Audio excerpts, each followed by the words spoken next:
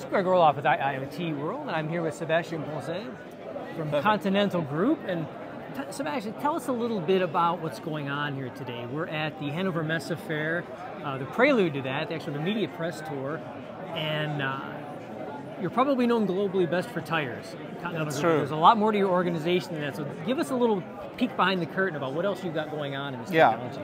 Yeah, very very happy to. It's uh, it's true. We're mostly known for tires. Uh, everybody knows us for our tires for good reason, I would say. But we do a lot more than just tires. So Continental is basically a big company uh, consisting of three main parts: the tires part, -huh. the automotive part, and also the industry part, uh, which I'm from. It's called ContiTech. Um, and ContiTech um, does a whole lot of different things. Uh, for the Hannover Messe, the trade fair, which we're here for today, um, we concentrate completely on hydrogen, um, but we do even more than just hydrogen. Okay. So tell us a little bit about that. I know you from rubber and polymer science is probably your yeah. area of expertise, but what is what have you extrapolated that into, like in the ContiTech yeah. program? Yeah, it's a it's a good point because uh, our material expertise is really really strongly in our DNA. That's our strength. Um, we're coming from rubber, of course, from the tires part and uh, polymers, and we have a high expertise in that.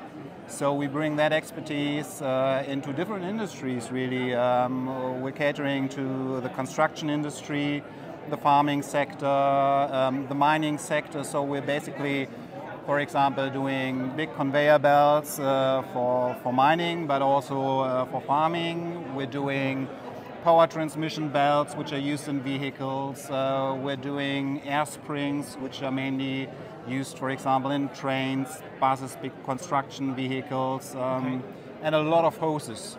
So hoses uh, for gasoline, hoses uh, for the fluid of brakes, hoses for air conditioning, all kinds of hoses in vehicles. Excellent. Now, what's the third division or the third group? What are some of the other areas that you're into?